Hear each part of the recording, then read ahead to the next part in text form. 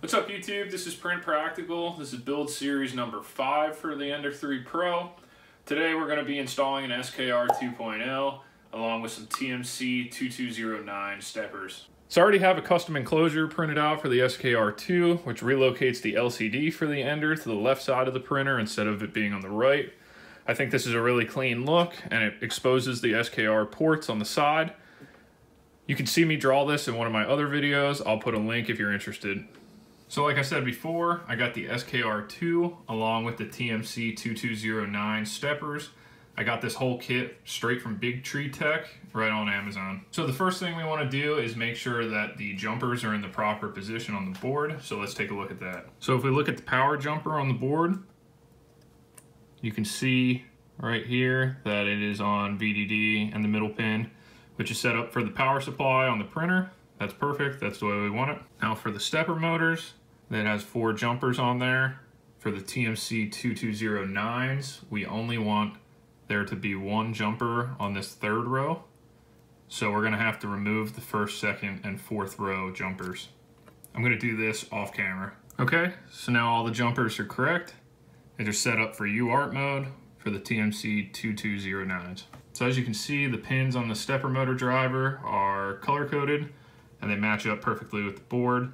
I'm not going to put the jumper on this pin for sensorless homing because I'm going to use my end stop switches that are on the Ender 3. All the stepper drivers are now installed properly and the jumpers are set up good. Let's draw the heat sinks on the top of them and then we'll install the SKR into its enclosure. Heat sinks are all on, let's put it in the enclosure.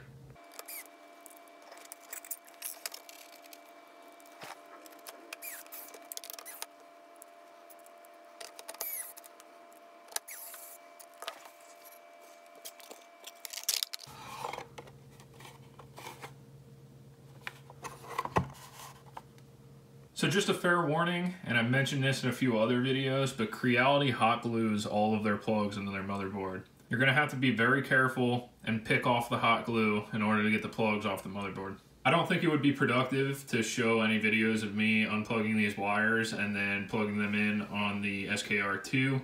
Instead, when I edit this, I will put together a wiring diagram to show where I plugged everything from the Creality 4.2.2 board into the SKR2.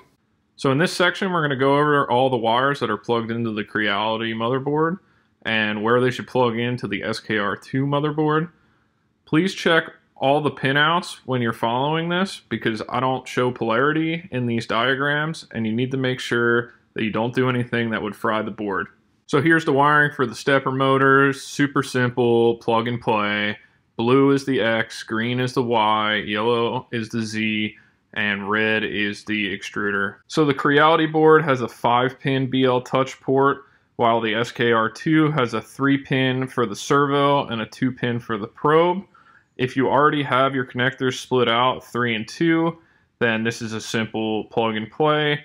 If not, you might have to pop the pins out of the 5-pin connector and take a 3 and a 2 pin and repin them please, please, please make sure that the pinout for your BL Touch matches what it should be in the SKR2 wiring diagram because you can easily fry your board this way or fry the BL Touch. So Creality uses a 2-pin end stop and the SKR3 has a 3-pin JXT port on the board. So the best thing to do would to be get some JXT plugs and repin the two pin ones to a three pin.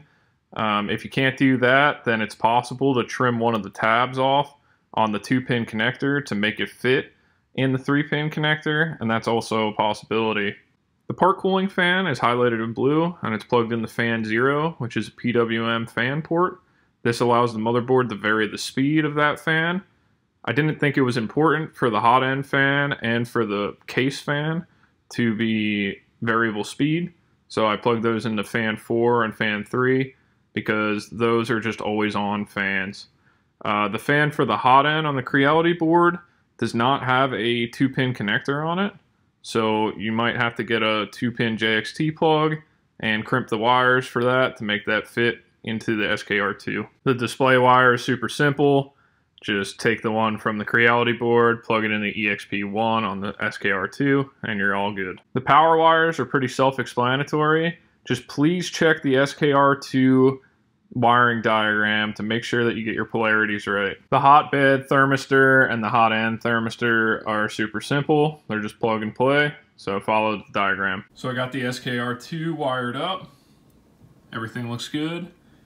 There was three custom things I had to do. One, I put a JXT three-pin connector on the BL Touch because before it had the little three-prong black connector and it doesn't fit nicely into the port. The second was that I made a custom power extension cable. And thirdly, I made a extension cable for the Y-axis limit switch because that was not long enough either. So one thing I think I'm gonna do is I'm going to print a different version of the lid for this enclosure. It does fit, but it pushes all the wires down pretty hard onto the SKR. And I don't know if I want that to happen and we're gonna go compile the firmware and see if we can get this going. So looking at boards.h, you can see that there's two defines for the SKR 2.0. I know that I have the Rev B, but if you're unsure, Big Tree Tech released a statement about the Rev A, which causes an issue if you're using the TMC 2209s. It's possible that all the stepper drivers can get blown out if you're using a Rev A, so just make sure that you know which model you have. And if you do have the Rev A, just do a quick YouTube on the Rev A with the 2209s. Okay, opening up configuration.h from last time, we're gonna scroll down. We're gonna change the motherboard now to our SKR V2. I'm also gonna change the name of the printer here.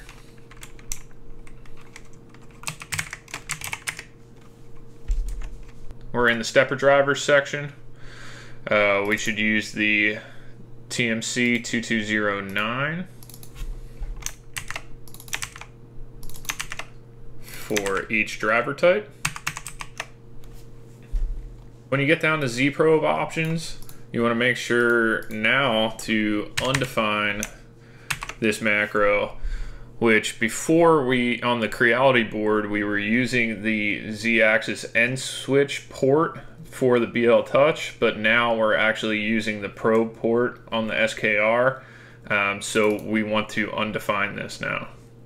So scrolling down a little bit further, there's an invert the stepper direction section. And I believe that you have to reverse these because the 2209s uh, are in the reverse direction of the old stepper motors that we had in this printer. So I'm going to reverse that now. So in your advanced configuration file, you want to look for this section here. You can search for X current and you should be able to find it. Um, this sets the current values for your stepper motors and it uses root mean square current. So really it just means that whatever current value your motor is rated for, if you divide it by 1.414, then that should give you the number that you should put here. So that means we're going to use 590, we'll, round it up to 595 for our motors here. And then our extruder motor is different. And we're going to put 708 as the current value for the extruder. Okay, so I selected Big Tree SKR2 as my environment. So let's try and compile this now.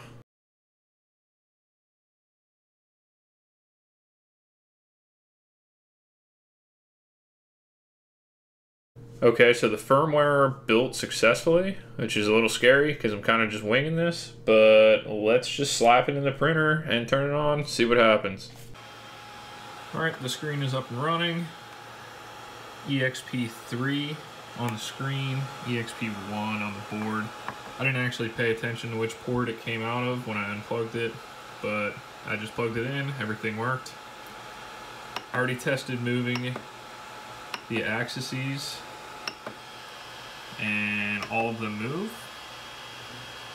I preheated the extruder and I can see that the extruder is running in the wrong direction. that's running in the positive direction. So I need to make a firmware change to invert that back. Okay, so I ran into my next issue. The SD card port is not working. It has an SD card in it, but it still can't find it. So let's go look through the configuration, find out what's wrong, recompile the firmware, and try it again.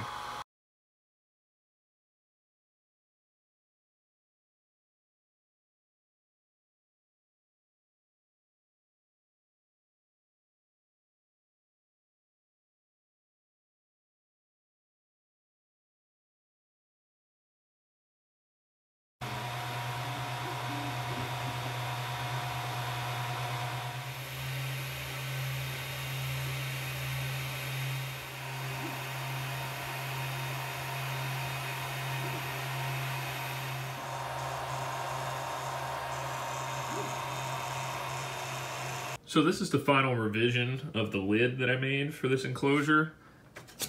First I started out with just a flat lid and that was squishing the wires down too much. Then I went to more of like a pyramid lid. Uh, excuse the crappy print quality here. I kind of I printed it like this on the build plate. And this was still squishing it down a little bit. Um, and like none of the vents came out properly. So now it's hard to see now that it's on, but it's got venting on that side. It's got the exhaust fan that pulls the air out on that side. And it looks pretty good. And it gives enough room for all the wires to sit in there properly. So that wraps up this video. Uh, the printer is running on the SKR2 and it is running very nicely. Until next time, subscribe. Thanks for watching.